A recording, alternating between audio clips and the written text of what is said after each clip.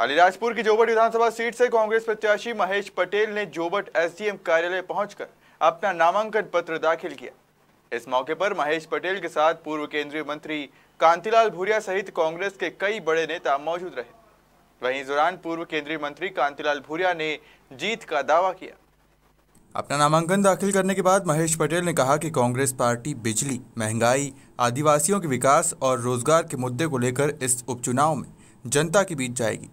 जोबट विधानसभा की जनता का पूरा आशीर्वाद कांग्रेस को मिलेगा और हम यहाँ भारी मतों से विजयी होंगे। वहीं पूर्व केंद्रीय मंत्री और वरिष्ठ कांग्रेस नेता कांतिलाल भूरिया ने कहा कि जोबट विधानसभा सीट अजमेर सिंह रावत के समय से ही कांग्रेस की सीट रही है। पचास सालों से कांग्रेस का ही दबदबा इस सीट पर रहा है, लेकिन उनकी बहू सुलोचना रावत कांग्रेस से विश्वासघात करते हुए रातों रात भोपाल जाकर भाजपा के पाले में बैठ गई। जोबट क्षेत्र की जनता उनकी इस हरकत से बेहद नाराज़ है और इसका जवाब उन्हें इस चुनाव में मिल जाएगा। वहीं दीपक भूरिया के निर्दलीय चुनाव लड़ने और कांग्रेस से बगावत करने पर कांतिलाल भूरिया ने कहा कि दीपक भूरिया से हम चर्चा कर उन्हें मनाएँगे और तेरह तारीख के पहले उनका नामांकन वापस करवाएँगे। आज मैंने नामांकन भरा। हमारे वरिष्ठ आदिवासी नेता और आदरणीय कांतिलाल जी भूरिया के आशीर्वाद से आज मैंने फार्म जमा किया। आज हमारी जो स्वर्ग, स्वर्गीय कलावती बहन के जो अधूरे सपने थे, आज पूरे करने के लिए आज संपर्क लिया। सभी हमारे वहाँ का कार्यकर्तागण और हम ये बिजली, सड़क, पानी, बेरोजगार, रोज़गार को लेकर हमारा ये मुद्दा रहेगा। हमारे राष्ट्रीय नेता है, आदिवासी नेता है।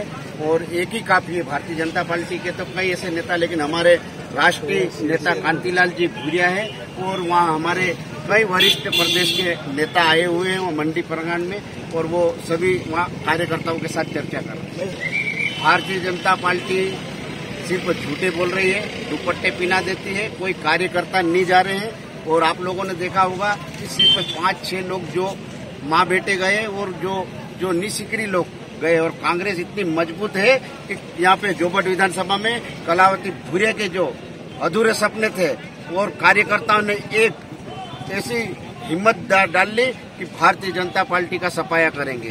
दीपक भाई, हमारा कांग्रेस का युवा नेता है, छोटा भाई है और वो बिल्कुल फार्म भरा है, लेकिन बिल्कुल तेरह तारीख तक मान जाएगा। हमारे बड़े नेता आदरणीय कांतिलाल जी भूरिया के नेतृत्व में आज हज़ारों आदिवासी यहाँ आए हुए हैं और आज नामांकन भरा और पूरे विधानसभा में हमारे भूरिया जी के नेतृत्व में, हर बूथ तक भूरिया जी के नेतृत्व में कार्यकर्ता जुटे हुए हैं और हमारे राष्ट्रीय नेता भी आएँगे और प्रदेश के नेता भी आएँगे। पच्चीस से तीस हज़ार वोटों से जीतने का दावा कर रहा हूँ। आज हमारे प्रदेश अध्यक्ष माननीय कमलनाथ जी ने कांग्रेस की तरफ़ से अधिकृत प्रत्याशी भाई महेश पटेल को अधिकृत किया है। तो आज हम जाके हमने नॉमिनेशन फॉर्म दर्ज किया है और जमा करा है। तो निश्चित ही आप जो बता रहे हैं कि यहाँ जोबट विधानसभा पूरी तरह से कांग्रेसी है। शुरू से अजमेर सिंह से जमाने से के आज तक अरे उनकी बहू ने विश्वासघात किया कांग्रेस के साथ। रातों रात वो जाके उनके पाले में बैठ गई। अब इसके इस क्षेत्र की जनता को बहुत आक्रोश है सूचना के ऊपर अब हम निश्चित ही अब जगह जगह जाएँगे और महेश पटेल को भारी बहुमत से जिताएँगे। ये हमने आज सभी कार्यकर्ता आज हमारे आए हुए हैं। संकल्प लेके हम चलेंगे। यहाँ पर भारतीय जनता पार्टी का खाता नहीं खोलने देंगे। आने वाला समय भी एक निर्णायक रहेगा हमारा।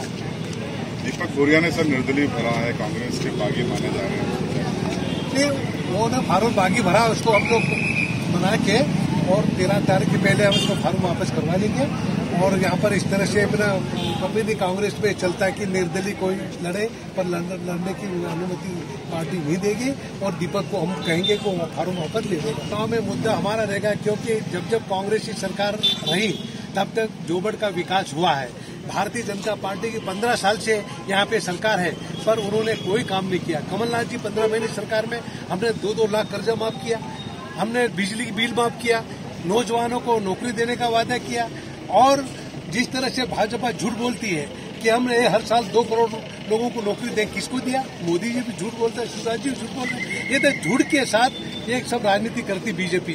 पर कांग्रेस हमेशा एक जवाबदारी से काम करती है और आज जो अपना कलावती हमारी यहाँ पर विधायक थी, पर कम समय में दो साल रह पाई और ईश्वर की मर्ज़ी थी, आज हमारे बीच में नहीं है। उनकी जगह हम महेश पटेल जी को टिकट दी है। हाईकमान ने और महेश पटेल जीतेगा और कलावती का भी सपना पूरा करेंगे और इस क्षेत्र में जो जो कमियाँ हैं, कांग्रेस ने जो किया था वही है।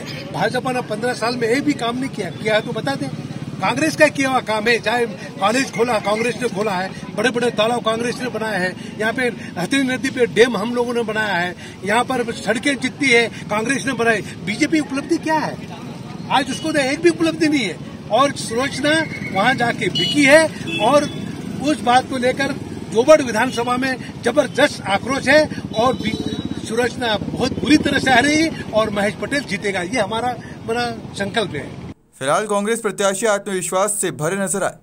वहीं अब आगे देखना होगा कि मतदाताओं का कितना आशीर्वाद उन्हें मिलता है। अलीराजपुर से सुमित सालवी की रिपोर्ट।